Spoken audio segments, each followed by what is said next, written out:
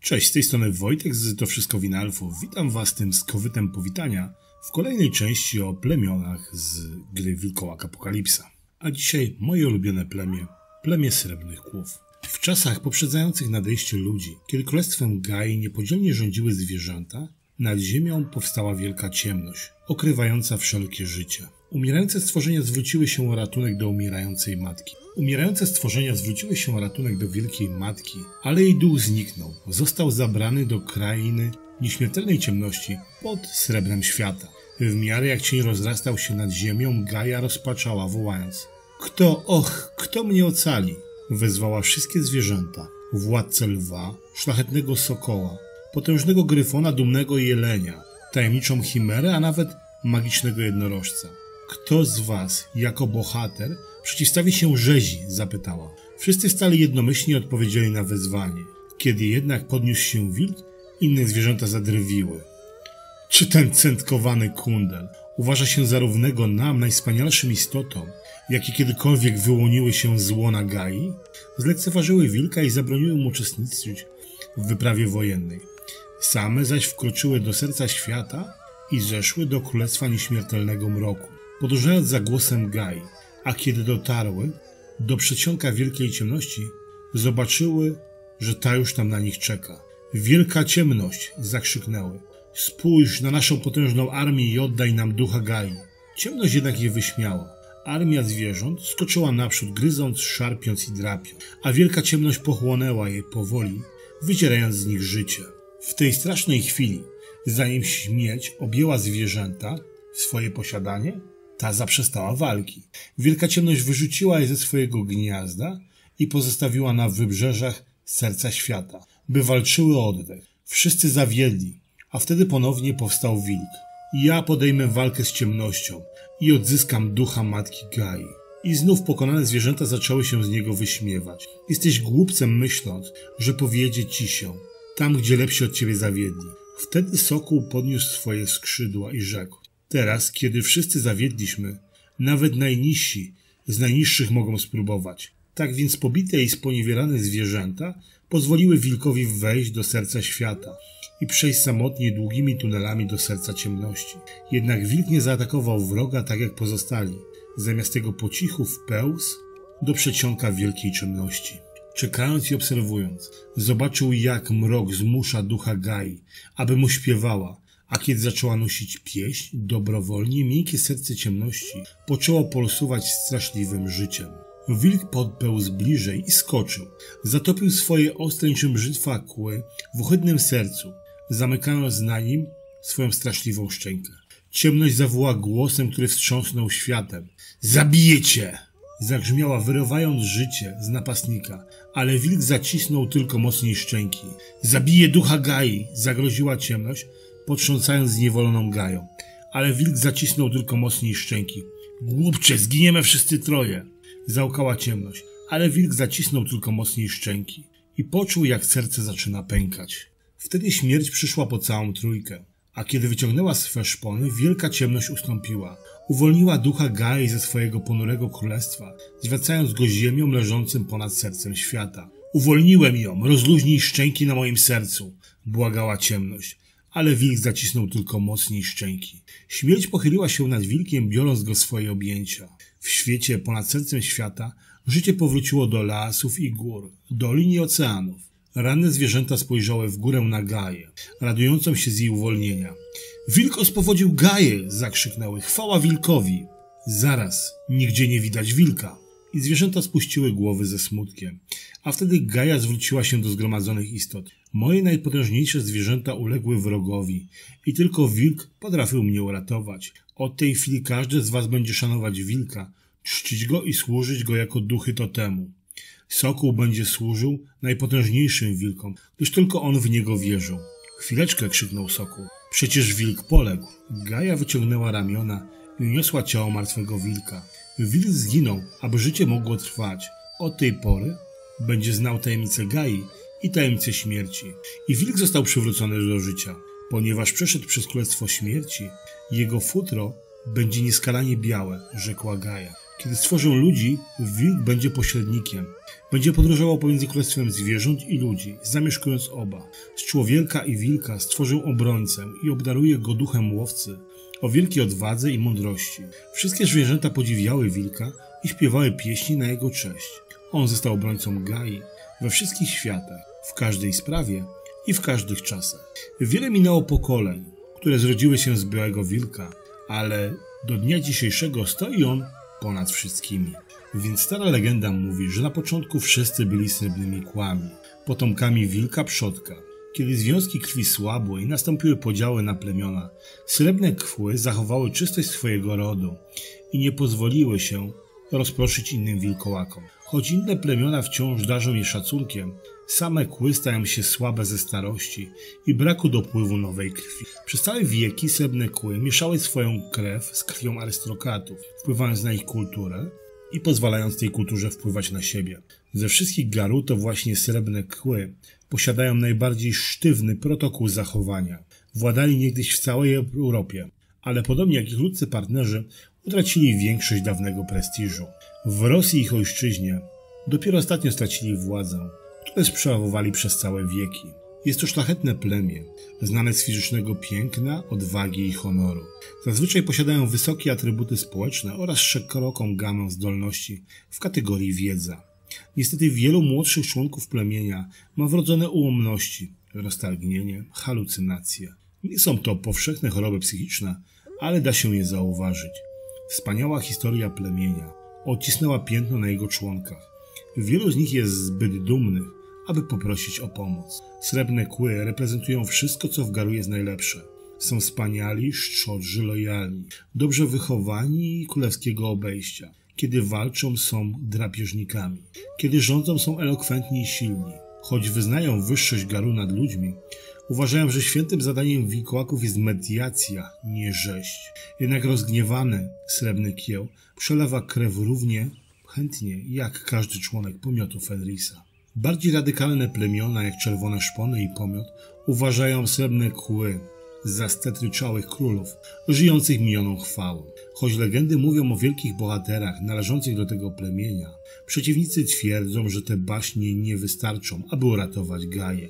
Niektórzy oskarżają nawet szlachetne srebrne kły o to, że nie robią nic, kiedy żmij stanie się coraz silniejszy. Władcy cieni radują się z tego niezadowolenia i czekają na swój czas. Los srebrnych kłów obrazuje tragedię wszystkich garów, choć dumni i silni na zewnątrz, cierpią oni na choroby ducha i umysłu. Brak dopływu świeżej krwi sprawia, że plemię osłabło. Oczywiście jego członkowie robią wszystko, by naprawić błędy swoich przodków, ale na to, niestety, może już być za późno. Wygląd. Roztaczający swe wpływy w Europie i północnej Ameryce srebrne kły spenetrowały szlachtę i bogate warstwy społeczne narodów, pośród których mieszkali. Mają wyrafinowane rysy, często z rodzinnymi cechami charakterystycznymi jak szczególnie nosy, szczególne nosy, podbródki i tym podobne. Ich wilcze postacie zawsze są białe lub srebrne, z długimi szczękami pełne wdzięku. Ich oczy zawsze są błękitne lub zielone. Zazwyczaj noszą biżuterię, nawet w postaci wilka. Terytorium. Szczepy srebrnych kłów mieszkają na wielkich, pięknych obszarach dziczy, które mają podkreślić ich splendor. Góry, głębokie lasy, majestatyczne klify na wybrzeżach oceanu. Strzegą swoich kranic zazdrośnie i nie wpuszczają do nich ani ludzi, ani innych garu. Historia. Legendy srebrnych kłów głoszą, że ich plemię pochodzi ze Złotego Wieku, a wszyscy pozostali garów wywodzą się właśnie od ich protoplastów. Wierzą, że pozostałe plemiona są odgałęzieniami rodu srebrnych kłów i żadne z nich nie ma tak czystej krwi, a nie jest tak silne jak oni, gdyż są spokrewnieni z ich protoplastą wilkiem. Dlatego też uważają, że oni powinni rządzić wszystkimi garą. Przekazywana pośród kłów historia stworzenia mówi, że wilk pokonał żmija, kiedy ten po raz pierwszy zaatakował świat. Ponieważ ich protoplasta przywrócił życie światu, dlatego wilki uważają, że wśród zwierząt są istotami wyjątkowymi i dlatego posiadają moc rozkazywania duchom innych zwierząt. Srebrne kły utrzymują, jakoby tajemna wiedza życia i śmierci, którą poprzez śmierć i wskrzeszenie zyskał wilk, znana jest tylko członkom ich plemienia. Dzięki tej wiedzy mają święte prawo przewodzić innym garu. Srebrne kły były przywódcami w watach i cywilizacji ludzkości. Kojarzyły się z królewskimi lodami oraz walczyły z wampirami, magami i sługami żmija o dominację. Zazdrośnie strzegły swoich homidów i lupusów, pilnując czystości krwi. Ta skrupulatna dbałość o czystość rasy zaowocowała kazirodczymi związkami, czyniąc srebrne kły delikatniejsze i bardziej bojaźliwe. Struktura. Srebrne kły mają bardzo prostą hierarchiczną strukturę, opartą na starożytnych królewskich wzorach. Każdym protektoratem rządzi posiadający władzę absolutną król, zwany czasem ojcem. Król może królem może zostać kobieta, ale zgodnie z tradycją musi być Arunem. Królewski dwór składa się z maksymalnie ośmiu garu, podzielonych na dwie loże, księżyca i słońca. Pierwsza nich zajmuje się społeczeństwem lupusów i królestwem magii. Oficjalne szaty jej członków są czarne i mają białe akcenty. Loża Słońca zajmuje się społeczeństwem ludzi i sprawami świata fizycznego. Ich szaty są białe, mają zaś czerwone akcenty. Każda loża składa się z szamana, zarządcy i giermka. Obydwaj szamani są zawsze teurgami i w zakresie ich obowiązków wychodzi doradzanie królowi w sprawach świata duchowego i materialnego. Rządcy są zawsze filodoksami i dowodzą siłami ofensywnymi w królestwie duchowym oraz materialnym. Giermkowie są zawsze galiardami i kierują obroną Umbry oraz siłami ludzkimi. Seneszal, ostatni członek dworu, nie należy do żadnej z lóż. Do jego obowiązków należy sprawdzanie, wprowadzanie, przepraszam, w życie wszystkich planów króla. Seneszalem zostaje na ogół Garu, znający się na wielu rzeczach, choć można powiedzieć, że żadnej z nich naprawdę dobrze. Posiada władzę nad członkami lóż i podlega tylko królowi. Nie jest związany ograniczeniami procedur, takich jak pozostali dworzanie. Często zdarza się, że w tajemnicy wykonuje brudną robotę dla króla, czasem nawet stając się jego zabójcą. Seneszalem jest na ogół Arun, choć Ragabasze twierdzą, że ta pozycja należy do ich dziedzictwa, skradzioną przez zazdrosnych i nieufnych starszych. Może jest tym ziarno prawdy, ponieważ najlepszymi dworami srebrnych kłów zarządzali nieliczni Ragabasze. Zgodnie ze zwyczajem, Seneszal jest jedynym członkiem plemienia, który nigdy nie może zostać królem. Dzięki temu nie może on wykorzystać swej wiedzy w walce o tron. Ta formalna, starannie opracowana struktura ma zapewnić jasny podział władzy i kompetencji. W rzeczywistości sztywność tego podziału często stwarza różnego rodzaju problemy. Imiona. Srebrne kły na ogół przyjmują imiona europejskich i muzułmańskich rodów szlacheckich, przemieszane z imionami garu. Pilnie nadzorują swoich młodych lupusów i homidów, zabijając każdego, kto spróbowałby zanieczyszczyć linię, wprowadzając nowe geny. Planowanie związków małżeńskich nadal jest tu silną tradycją. Odłamy, odnowiciele, sztywna struktura oraz podejrzliwa natura srebrnych kłów na ogół zapobiega powstawaniu mniejszych frakcji. Mimo to pod hasłem odnowy narodził się odłam, który jest wciąż zwalczany, ale jego członkowie, a jego członkowie przepędzani. Przedstawiciele tej frakcji nawołują do wewnętrznej odnowy srebrnych kłów, co ma nastąpić poprzez wymianę starych, dziedzicznych władców na nowych, świeżą krew, mniej znaczących rodów. Odnowiciele wskazują na rosnące osłabienie i paranoję obecnych przywódców oraz siłę i zdrowe zmysły srebrnych kłów nie należących do królewskiego rodu. Rytuał przejścia. Srebrne kły przeprowadzają specjalny rytuał, który pozwala ich szczeniakom przenieść się w przeszłość i wejść w ciała szanowanych przodków. Wówczas muszą stawić czoło wrogom znanym z sak. Podczas walki doświadczają czystej pierwotnej dzikości z czasów poprzedzających imperium. Od tego, jak dobrze Wataha się spisze, zależy jej przyszły los. Dzięki takiemu rytuałowi srebrne kły mogą utrzymywać więzi ze swoją chwalebną przeszłością. Krewniacy. Krewniacy pierwszego plemienia to śmietanka śmietanki ludzkiego społeczeństwa. Arystokraci, szlachta i spadkobiercy olbrzymich fortów. Ich wilcza trzoda żyje na terenie rozległych protektoratów, strzeżona przez wojowniczych krewniaków i srogich garów.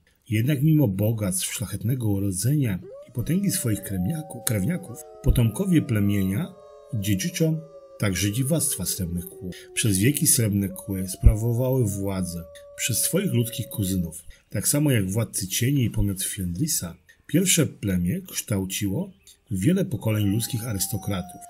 W przeciwieństwie jednak do tamtych plemion, wpływy srebrnych kłów maleją z każdym rokiem, w miarę powstania kolejnych prawdziwych czy urojonych systemów demokratycznych i zastępowaniu tytułowanej szlachty przez wielkich przedsiębiorców, krewniacy tracą możliwość sterowania ludzkimi sprawami. Zamiast jednak przeorganizować się i stawić czoło zmieniającym się czasom, wolą stosować się do wymagań stworzonych przez siebie kodeksów społecznych, jeszcze bardziej oddając się, oddalając się od swojego pierwotnego powołania. Większość krewniaków srebrnych kłów kieruje się kodeksem honorowym, traci jednak z oczu świat rzeczywisty, tak samo jak Garu, od których pochodzą, wilczy ludzcy krewniacy działają na swój własny, dziwaczny sposób. Nawet wilki przyjmują czasem pewne przyzwyczajenia, które oddalają je od swych braci. Mimo, że są często przywódcami swoich wata, obmawianie ich nie należy do rzadkości. Skutkiem tego inni nie słuchają iż chętnie ich poleceń. I to tyle, co przygotowałem dzisiaj na temat srebrnych kłów. To był Wojtek z To Wszystko Winelfów. Dzięki za poświęcony czas, cześć i do usłyszenia.